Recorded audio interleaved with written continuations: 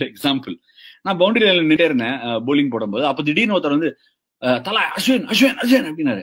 என்னப்பா அப்படின்னா திடீர்னு இல்ல வலிமை அப்டேட் எப்படி? அப்படின்னாரு. என்னையா சொல்ற? வலிமை அப்டேட் வலிமையா?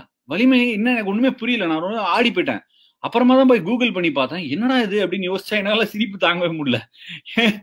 வலிமை அப்டேட் திடீர்னு மேட்ச்ல கேட்டா எப்படிங்க கனெக்ட் பண்றது? அப்படின்னு சொல்லி யோசிச்சுட்டே இருக்கும்போது நெக்ஸ்ட் டே மோயின் அலி வராரு.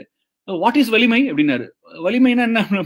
அப்புறம் மோயின் அலியும் அதே இடத்துல நிக்கும் போது அவரையும் கூப்பிட்டு வலிமை அப்டேட் கேட்டிருக்காங்க.